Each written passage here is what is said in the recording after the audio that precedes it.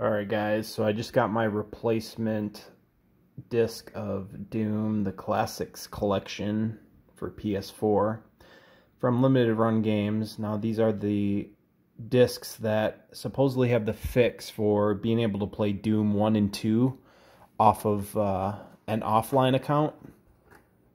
So uh, let me just show you that it does indeed work. They did fix this issue. So what we're going to do is... Uh, just create a quick play guest account. I'll try to show you that the console is offline. I guess we'll go to settings, network. You can see not connected. That's kind of reflection there, but yeah, we are not connected online, just so you know. So let's go ahead and pick my uh, copy. Let's load up Doom 1. What's interesting is this version is even better from what I can see than the digital version because when you start up the game offline it doesn't even pop up with the Bethesda account thing anymore. It's just completely gone. So let's just do, we'll just do the first episode, why not? I don't know what is going on with my controller right now. It's like freaking out. Let's just start it up.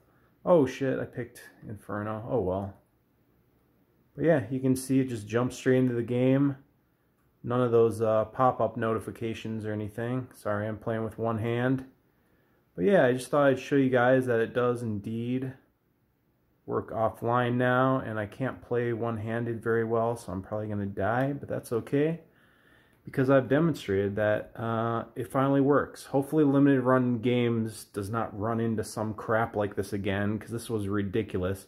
The way they handled it too is pretty garbage. Like if you didn't know they were doing replacements, like you would have just not gotten one. They should have just sent these out by default to everyone who ordered. And I'm hearing reports, I don't know if this is true or not. I haven't been able to confirm, but uh apparently the copies that Best Buy is going to sell aren't going to be these fixed versions. So just watch out. If you buy it at Best Buy, it might not work on an offline account.